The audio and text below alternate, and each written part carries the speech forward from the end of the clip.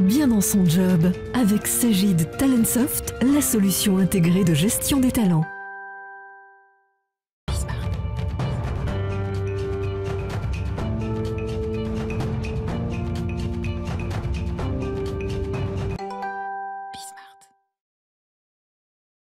Bien dans son job. On va parler formation. Oh, que ce sujet est important. On en a parlé beaucoup euh, à l'occasion évidemment de ce, CPF qui a bien marché sur le plan en tout cas de la, quantité et on en parle avec Franck Morel. Bonjour Franck, avocat en droit du travail, cabinet euh, Flichy-Granger. Et puis euh, vous êtes venu avec votre casquette de, senior fellow à l'Institut Montaigne qui sort, alors c'est très intéressant, 16 propositions pour faciliter les, les, reconversions. Alors je précise quand même que vous parlez d'une fenêtre, de celle d'un spécialiste en droit du travail parce que vous avez été conseiller du Premier ministre Édouard Philippe et je crois que vous avez conseillé cinq ministres du Travail. Donc c'est un sujet évidemment que vous connaissez bien. D'abord, avant de parler de, de, cette étude sur euh, la reconversion euh, professionnelle et, l'avenir des collaborateurs, un petit mot quand même sur le CPF. Vous qui avez un regard très panoramique, c'était une réforme pour améliorer, fluidifier, créer une plateforme. Qu'est-ce que vous en tirez comme bilan de ce CPF ça, ça a fonctionné ou pas? J'en tire un bilan, euh, on va dire, nuancé. Un bilan nuancé, pourquoi? Parce qu'il y a un certain nombre de choses qui ont fonctionné, et notamment l'aspect quantitatif que vous avez mentionné tout à l'heure, c'est-à-dire le fait que ça a ouvert la porte à une formidable appétence à l'accès à la formation, qui était une des raisons d'être d'ailleurs de la réforme. Hein. Ça fait des années et des années que sont dans les tuyaux différentes formules, droit individuel à la formation, compte personnel de formation, le DIF devenu CPF. génération, voilà, compte personnel de formation deuxième génération, tel qu'issu de la réforme de 18, avec principal changement. 2018, hein, c'est pas 14-18. C'est 2018. 2018 non, parce que l'impression que c'est plus récent. Et donc avec principaux changements de, cette réforme de 18 s'agissant euh, du CPF, la comptabilisation en euros des droits euh, permettant d'utiliser euh, donc le CPF et la large facilité d'accès aux formations par les outils numériques et par le fait qu'il y a une liste fermée. Il y a un mais. Ça, c'est le positif. Mais comme vous le dites, il y a effectivement un mais. Et le mai, euh, il a été souligné euh, par les partenaires sociaux il n'y a pas longtemps de ça. Ils ont signé un accord cadre au mois d'octobre dernier, dans lequel ils mettaient en avant le fait qu'il était nécessaire de faire en sorte que les formations qui étaient utilisées, consommées par le biais du CPF, soient plus en lien avec les besoins de l'économie. Le problème, il est. C'est un euh, des éléments d'ailleurs de, Absolument. C'est un des éléments phares de la note que vous avez mentionnée tout à l'heure, hein, que je viens d'écrire euh, pour le compte de l'Institut Montaigne. C'est le fait que c'est bien d'ouvrir très largement l'accès à la formation, mais c'est encore mieux de le faire pour des euh, formations pour lesquelles il existe des débouchés, pour lesquelles il existe des besoins. Et je pense que l'étape qui doit s'ouvrir aujourd'hui devant nous, après cette première étape de open bar, on va dire, d'ouverture des portes, des fenêtres, qui était absolument indispensable, c'est une étape qui consiste à faire en sorte qu'on flèche beaucoup plus que ça n'était le cas auparavant. Bien sûr. L'usage du CPF. Dans des secteurs sous tension, Dans des secteurs où il y a des besoins. Proposition 6, c'est celle-ci, réorienter le recours au CPF vers des formations qualifiantes pour lesquelles des débouchés professionnels sont bien identifiés. Absolument. Euh, il y a un autre volet que je trouve très intéressant dans les propositions, parce que finalement, ce qui ressort dans ces 16 propositions, et j'irai dans la note globale, euh, c'est que vous dites, le CPF, c'est bien, mais on peut aller encore plus loin. Qu'est-ce qu'on peut améliorer? Vous dites qu'il faut aussi améliorer le dialogue avec les partenaires sociaux. Euh, alors, je me permets, c'est un des secteurs les plus complexes en termes d'acronymes, de sigles. Euh, le CEP, euh, les ECPI. Enfin, c'est un secteur éminemment complexe. Ah, c'est un secteur éminemment complexe pour plein de raisons. Parce que d'abord, il y a euh, une quantité d'acteurs qui interviennent dans son secteur, euh, qui ont tous des caractéristiques, des compétences différentes. Il y a quantité de financements différents, il y a des circuits de financement, il y a des dispositifs différents. Et tout ça participe à la complexité. Et ça fait des années et des années qu'on dit qu'on va simplifier, qu'on va. Mais euh, le CPF, il devait y contribuer. Alors le, le CPF, il y a un peu contribué quand même, il faut bien le dire, parce qu'on peut utiliser quand même assez aisément son CPF, et c'est très bien, il faut conserver cette aisance d'accès euh, au CPF, mais, ça reste encore euh, assez compliqué du fait des caractéristiques que je viens de décrire, qui sont difficilement surmontables, parce que si un jour vous entendez quelqu'un vous expliquer qu'il va chanter euh, tel ou tel acteur des circuits d'organisation de la formation professionnelle, je pense que ça sera assez compliqué à mettre en œuvre, parce que tous les acteurs ont leur légitimité en même temps. On n'a pas précisé, pour complexifier un peu les choses, qu'on est passé des OPCO euh, des des OPCA, OPCA aux aux OPCO. Absolument. On a absolument. concentré le nombre de structures capables, justement. On a réduit le nombre de structures. Voilà. Hein, Euh, On a réduit le nombre pour faire en sorte de sortir d'un défaut qui était assez traditionnel dans le monde de la formation. C'était ce que j'appellerais le silotage. C'est-à-dire que chacun est dans son couloir de nage, dans son secteur d'activité, et euh, on gère difficilement les mobilités ou les transversalités. Et donc la création des OPCO participait de cette volonté. Euh, quel- Alors, quelques mots quand même, je ne voudrais pas qu'on se quitte avant que vous, vous l'ayez évoqué. L'idée quand même qui est finalement une vision assez sociale du, du système. Certains ont un CPF où ils ont Oui. euh, 3 000, 4 000 euros, Oui. Euh, ils le voient, on- il suffit d'y accéder sur son site, mais ils n'en ont pas besoin. Vous, vous dites, on pourrait aussi imaginer une ventilation que ces personnes, Bien comme sûr. on peut le faire lorsqu'on fait un achat, et on consacre une partie de notre achat à une association ou à des personnes en ayant besoin. Ça, c'est une idée intéressante. Oui, c'est une des idées que je formule. Effectivement, je pense qu'on peut encore plus inciter les moins qualifiés d'entre nous à se former.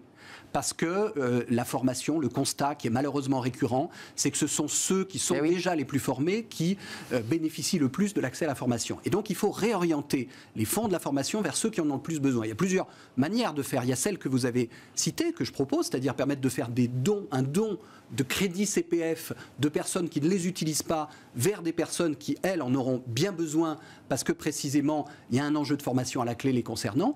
Et puis, Donc, De- excusez-moi, qui abonderaient leur propre compte Absolument, CPF. qui abonderait le compte CPF des, des intéressés. Et puis, il faut aussi sans doute beaucoup plus mettre le paquet sur les crédits CPF des moins qualifiés. Hum. Après, si vous le permettez, je voudrais mettre l'accent sur une des propositions phares du, du rapport qui me paraît importante, c'est ce que j'appelle l'amortissement fiscal. Oui. Alors, je vais, je vais expliquer ce que j'entends par ce- cette expression.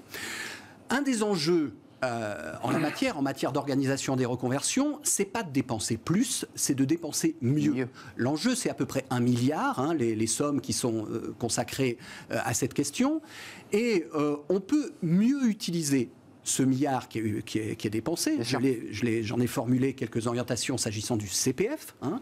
Euh, mais on peut aussi faire effet de levier, c'est-à-dire avec ce milliard faire en sorte de rendre plus utile encore les moyens qui sont levés notamment par les acteurs privés Euh, sur des formations quoi, de longue durée? Sur des formations de longue durée en particulier, donc des formations de reconversion, puisqu'on se rever- on se- on ne se reconvertit pas, je vais y arriver. L'employabilité, c'est qu'on passe d'un métier à un autre. Absolument. Hum. Et l'idée est la suivante. L'idée est de dire, euh, on est nombreux à penser que la formation est un investissement. Euh, notamment effectivement les formations longues.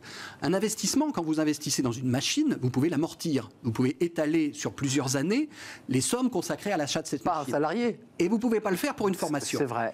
Et donc, ce que je propose, c'est de permettre de le faire pour une formation, au moins sur le plan fiscal, c'est-à-dire de faire en sorte, pour le calcul des contributions fiscales, d'étaler sur plusieurs années les dépenses consacrées à la formation.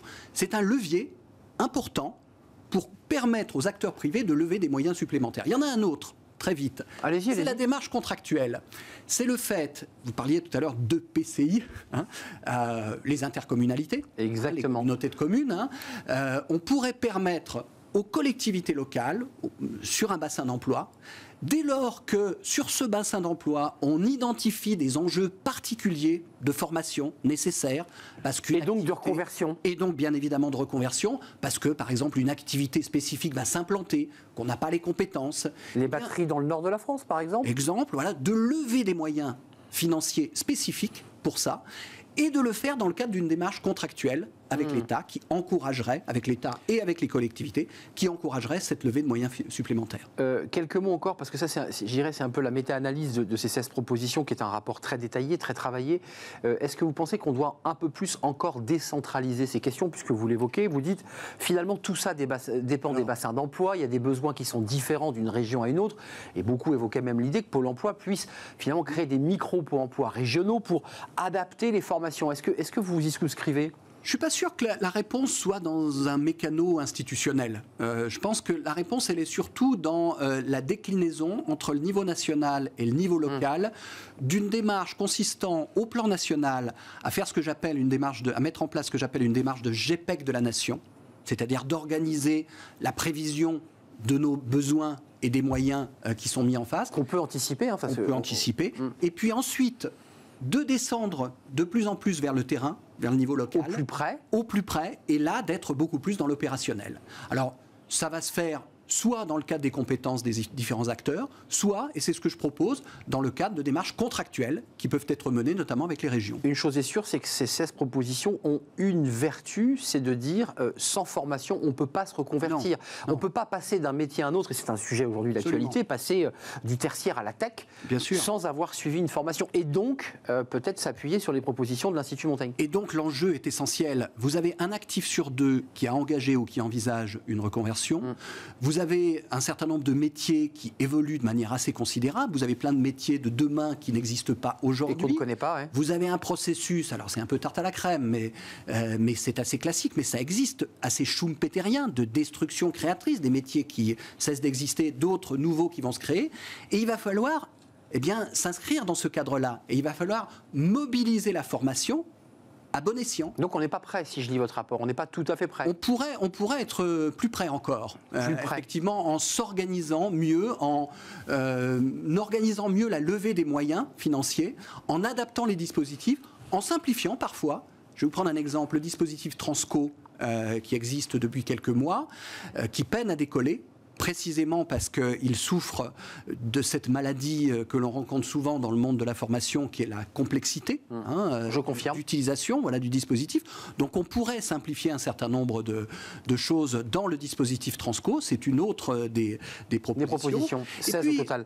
Être pratique, dernier mot, Franck Morel. Être pratique, dernier mot, être pratique, euh, ça veut dire par exemple en matière d'outils de gestion des ressources humaines qui peuvent exister, faire en sorte qu'on utilise ces outils de manière pragmatique et non pour euh, répondre à une démarche administrative, ce qui est malheureusement le cas sur les entretiens professionnels. Évidemment. Une autre des propositions que je formule, c'est de sortir de ça. Les premières propositions, tout rassembler finalement et créer quelque chose de plus cohérent, notamment sur cette question des entretiens qui sont effectivement en silo. C'est un vrai plaisir de vous accueillir, Franck Merci Morel. À vous. Euh, avocat en droit du travail, on l'aura compris, cabinet Flichy-Granger, mais surtout senior fellow à l'Institut Montaigne. Ce rapport et l'analyse, hein, évidemment, autour de cette question de reconversion à découvrir sur le site de l'Institut Montaigne. On va faire un peu de philo, tiens. on va parler philo, on va parler spiritualité en entreprise. On est un petit peu loin de la formation, mais on en parle tout de suite dans notre rubrique Smart Philo.